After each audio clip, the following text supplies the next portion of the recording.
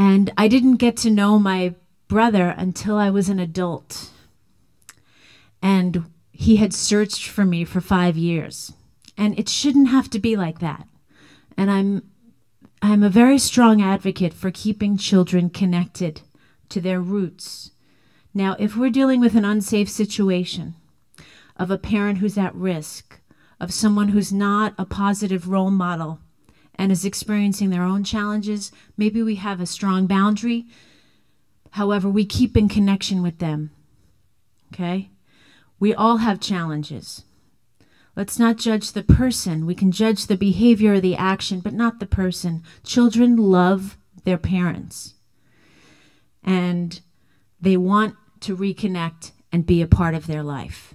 And so do the parents.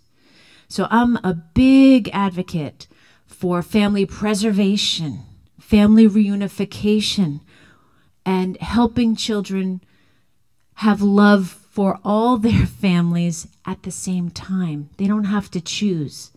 That makes it much more difficult for children.